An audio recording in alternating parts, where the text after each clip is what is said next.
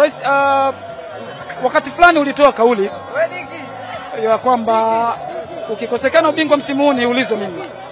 Uh, na kwa bahati mbaya ubingwa ulikosekana, na kauli ile ilitumika kiasi katika reference ya mazungumzo yako. Kwanza ulijisikiaje baada ya kutoa kauli ile, na bahati mbaya ubingwa ukakosekana?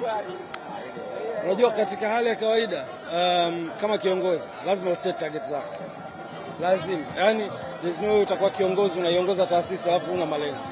Kwa la kwanza ni malengo, na yale yalikuwa ni malengo yetu kama club, na mimi kama kiongozi lazima ni abebe ya malengo. Sasa malengo yanaweza kuwa wazi, kwa sababu nayaweka wazi malengo yangu, lakini kuna kiongozi mwingine anaweza kuyaficha yale malengo akatekeleza majukumu afu akitimia ametimia. Mimi napenda kujipa deni, this is my role.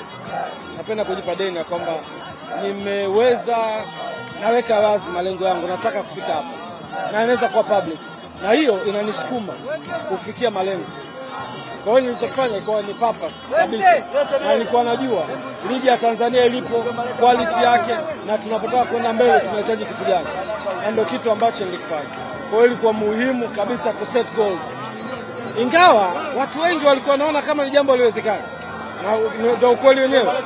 Simba wakati huo wana makombe manne mfululizo, wakati huo matatu, actually la nne ndio lilikuwa ni hilo. Kwa hiyo watu wakawa na male, mawazo ya kwamba hakuna mtu anaweza kuondoa ufalme wa Simba.